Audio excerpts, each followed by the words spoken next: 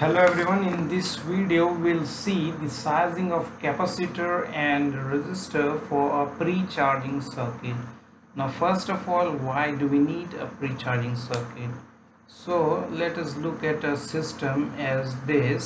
So this is some inverter circuit which will feed to some uh, AC motor and this is the DC input. Now this is the capacitor circuit that would come across this uh, DC supply voltage. Now what will happen if suddenly this DC is applied applied across the resistance? So here we have tried to emulate it. So uh, this is for now not a 100 ohm resistor but I have just kept a 1 ohm resistor which is uh, uh, which is actually we can say the internal resistance of the circuit not some external resistor we have put for now. And let us see the waveforms. And this is our DC link capacitor that would come across this DC supply.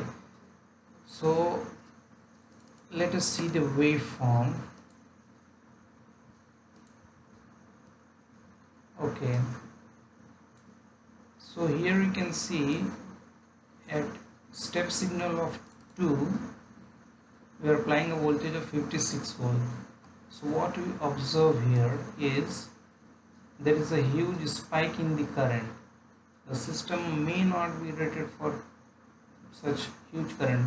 Besides this R I have kept it significantly high 1 ohm uh, which is internal resistance may not be that much high just to limit this current but otherwise it would uh, the spike would be of uh, immensely high amplitude. And the capacitor is charging to uh, 56 volts. So we can see the instantaneous uh, current and the instantaneous peak power. It's quite high. When we are directly applying the DC voltage across this capacitor so this is the reason why we need the pre-charging capacitor and pre-charging resistor. So this pre-charging resistor let us now make it 100 ohm.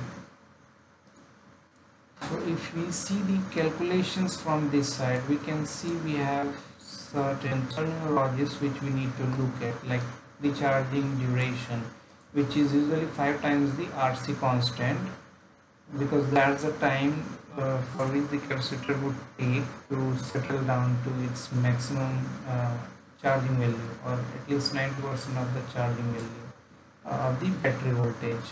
So an instantaneous peak power which is given by this formula energy needed for pre-charge capacitor and power needed so if we take these values r is equal to 100 which I have capacitor is 14 millifarad and battery voltage of 54 or 56 let us take. So as for that calculations come out with this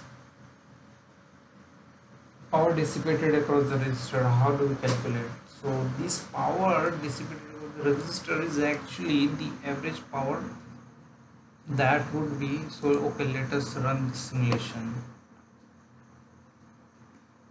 so this capacitor current or is given by I naught e to the power minus t by tau where I naught uh, you very well understand is uh, nothing but V by V battery voltage by resistance. Means when capacitor is initially not charged it will be open circuit the whole voltage will fall across the resistor. So that current at that instant only V battery by R which is coming out to be 0.54 or in this case 0.56 and from this formula we can calculate PR equal to it's coming around 3 watts. So we need to choose a resistor of 100 ohm and 3 watt power it should be able to take. Now let us see from this calculation okay so after using the pre-charging uh, circuit what we see the current has come down to 0.56 ampere and this the capacitor is taking about one two three four four four to five seconds to reach to its steady state value of 56 volts. And the power peak power which we have calculated was near about 30 watt which we can see here and then is decaying down.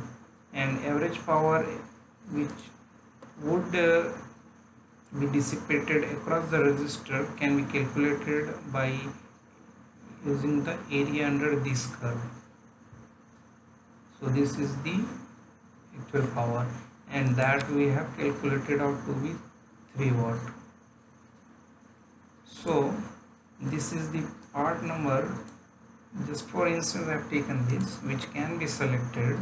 Or otherwise you can uh, keep a margin of uh, 1.5 times here. So the power rating of this resistance can be 4.5 to 5 watt and 100 ohm. So this is how we design the pre-charging resistor. Okay thank you